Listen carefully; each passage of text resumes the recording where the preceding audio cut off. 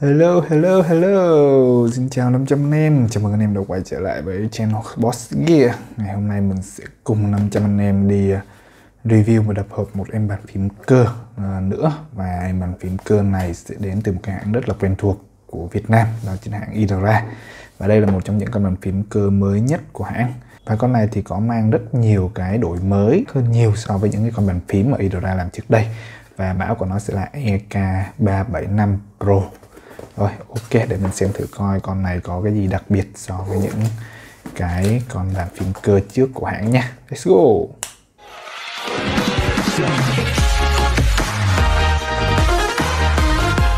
Đầu tiên thì về cái cách đóng hộp chúng ta thấy không có gì thay đổi cả. Vẫn là một cái màu ờ, nâu cà phê truyền thống của thằng Idora. Đây. Rồi, sẽ mở hộp luôn. Về cái ờ, hộp thì mình khi mình cầm lên thì mình có cảm giác cực kỳ nhẹ luôn các bạn rất là nhẹ luôn. Ở phía bên trong thì chúng ta sẽ thấy có một cái dây kết nối. Và cái dây này thì mình thấy nó cũng khá là bình thường. Bọc dù đầu tay C sang tay A có cục chống nhiễu. Ok. Ở đây chúng ta sẽ được tặng kèm thêm một cái key puller key switch puller cái này thì cực kỳ phổ biến rồi. Rồi phía trong này thì chúng ta sẽ có chiếc bàn phím nằm ở giữa đây. Tí nữa mình sẽ mở ra sau.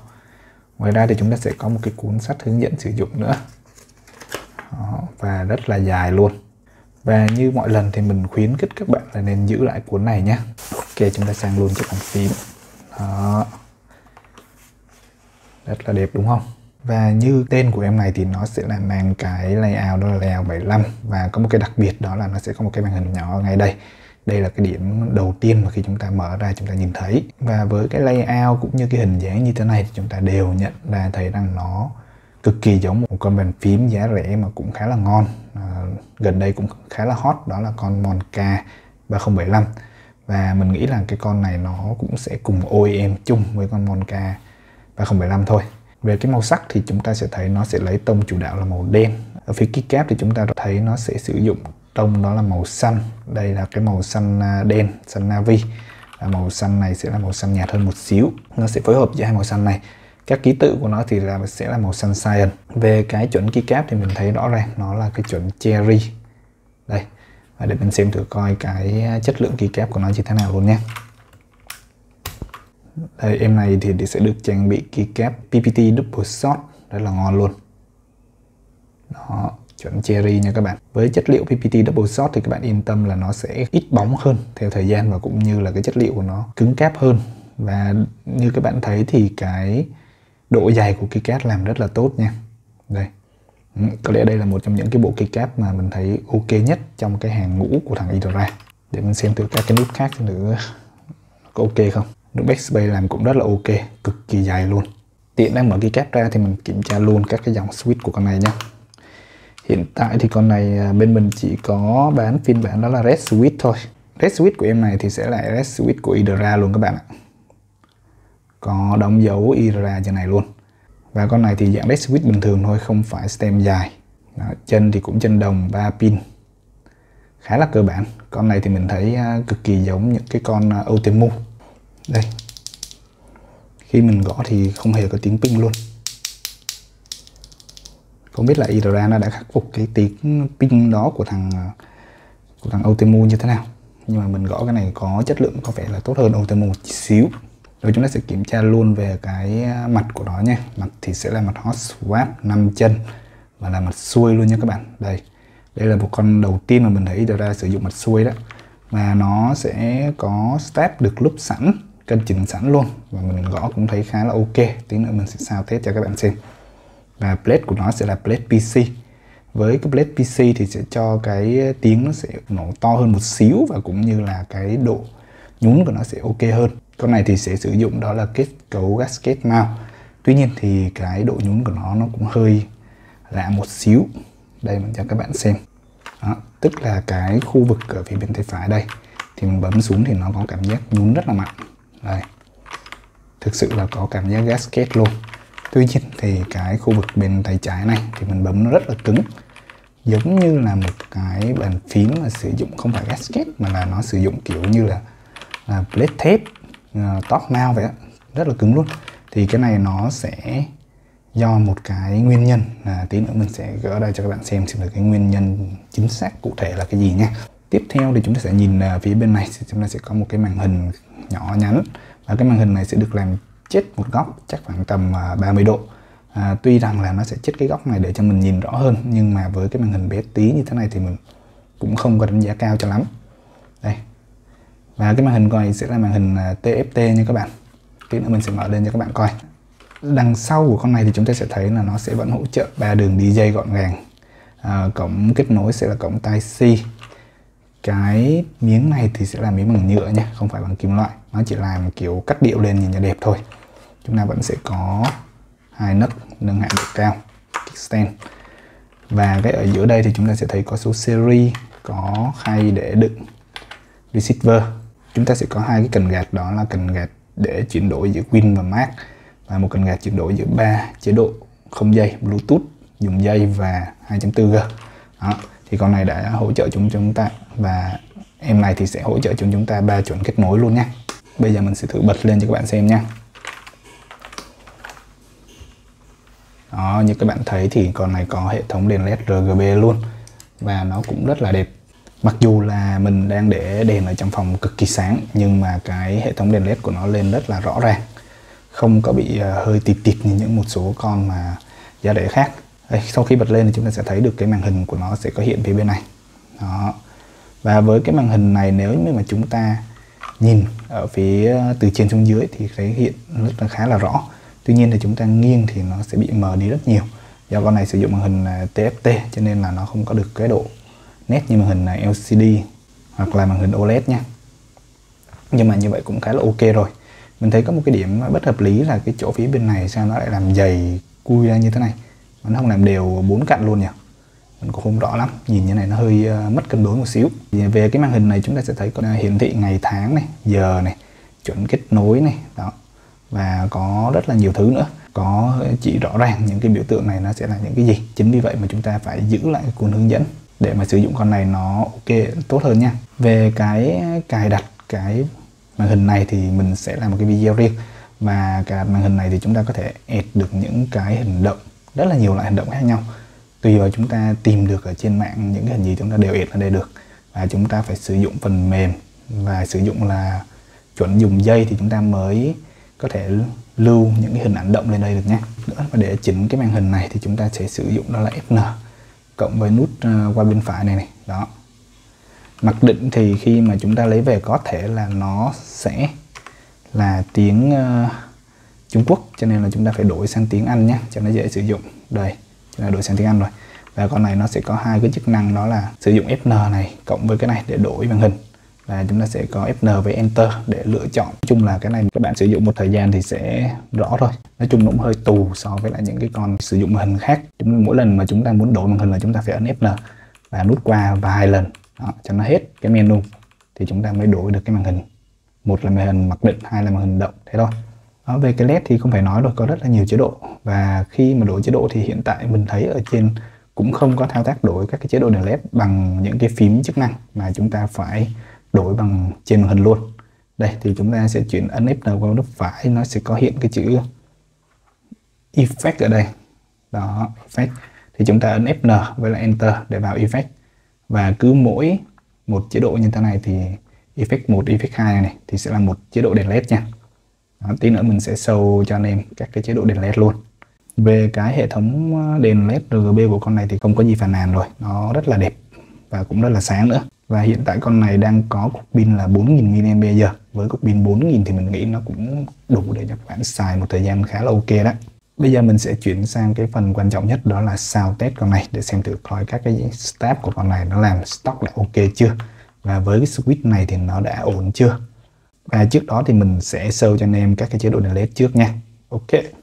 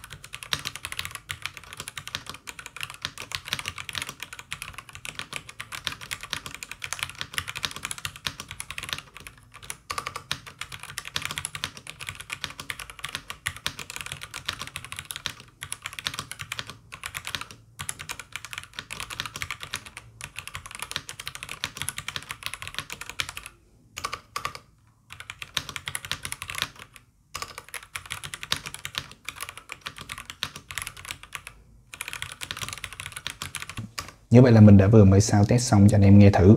Và thực sự là với cái à, start stop của con này thì cũng rất là ok rồi. Nó sẽ không có cái tình trạng lọc sọc như những cái phiên bản trước đây của Idra có lẽ là con này nó cũng đã được cân chỉnh trước một chút. Tuy nhiên thì à, với cái à, switch của con này thì mình bấm nó khá là sạn và cái, một số cái start 2U như con back này này, đó. Hoặc là con ship này thì nó làm chưa được ok cho lắm cái này thì các bạn nên mở ra và lúc lại thêm một xíu nữa. Có lẽ là mình thấy con này do cái stat lúc hơi mỏng cho nên là cái tình trạng nó hơi lọc sọc một xíu thì vẫn còn. À, tuy nhiên thì những bạn nào mà không quá khó tính thì chúng ta mua về stock xài thì vẫn rất là ok. Đó. ngoại trừ cái việc là cái switch nó chưa có được mượt mà lắm. Do switch con này thì chưa có pre lúp nếu được thì các bạn có thể bỏ thêm một ít tiền nữa để mình lên một con switch ngon hơn thì nó sẽ khá là ok đấy nếu mà anh em muốn thì à, mình à, sẽ làm thêm một cái video nữa để mình thay thử cái bộ cái bộ switch ngon hơn cho con này thì sẽ có ok không nhá. Rồi và quay trở lại cái vấn đề đó là vì sao mà bên này nó nhún đó, nhún bên này nó nhún hơn và bên này thì lại không nhún. Thì bây giờ mình sẽ sâu cho anh em. Tiện thể thì mình sẽ à, mở cái con này ra luôn. Và để mở cái con này thì cũng khá là đơn giản thôi. Để mà gỡ cái con này ra thì chúng ta chỉ cần mở hết tất cả các ngàm ở xung quanh thôi. Con này nó cũng có thiết kế theo cái kiểu à, dùng ngàm hoàn toàn chứ không có dùng ốc để kết nối giữa cây với lại à, nói chung là hai cái miếng cây kết nối với nhau thì chúng sử dụng toàn là bộ là bằng ngàm thôi.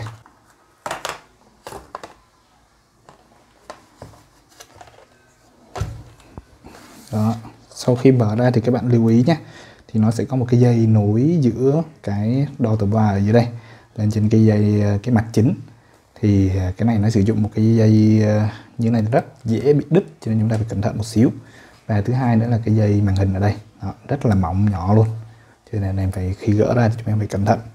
Chúng ta không nên nhấc hẳn ra mà chúng ta chỉ cần nhấc nhẹ nhàng là như thế này thôi là được rồi.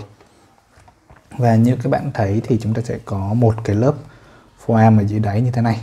Đó, foam này thì sẽ là bằng kiểu foam bằng mút bình thường thôi không có gì đặc biệt à, phía bên này thì chúng sẽ nhìn thấy một cái cục pin là 4000 mAh. À, và để mở ra thì chúng ta sẽ mở cái dây này trước. Và cái dây này mở thì chúng ta sẽ mở lật lên nha. Lật lên.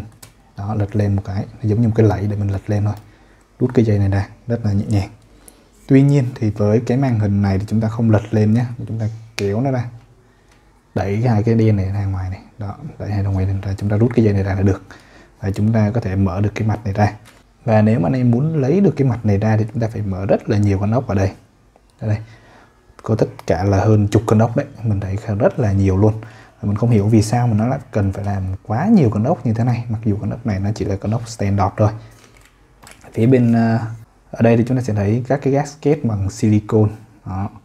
tuy nhiên thì à, gasket bằng silicon nhưng mà cái đệm ở giữa mặt thì nó sẽ không phải bằng silicon nha. Cái đệm ở giữa mặt thì nó sẽ là bằng foam luôn và màu trắng á. Và cái hot swap này thì mình thấy nó cũng không có không có ghi rõ là của thằng nào có lẽ là của thằng Monska luôn của thằng Monka nó sản xuất luôn.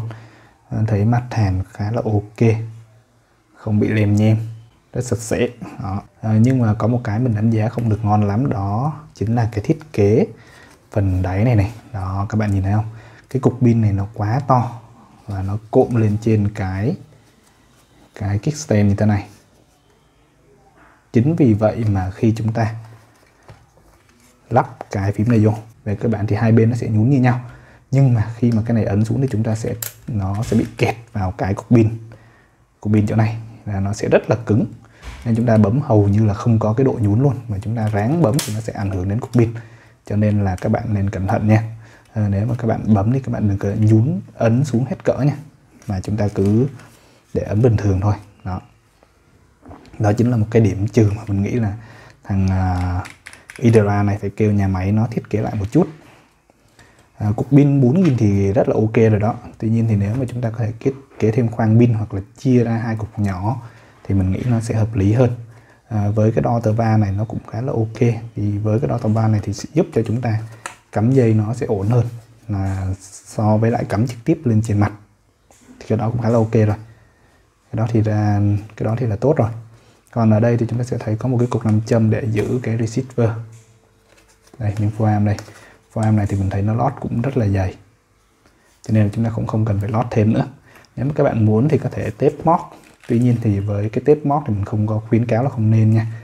Với ờ, những cái mặt mà nó sử dụng đèn led đồ chí chóe như thế này mà lại còn sạc pin đồ nữa thì chúng ta không nên sử dụng, không nên tép móc làm gì. Nó sẽ rất là nóng mặt dẫn, dễ dẫn tới chập cháy chảy keo các kiểu, vân vân.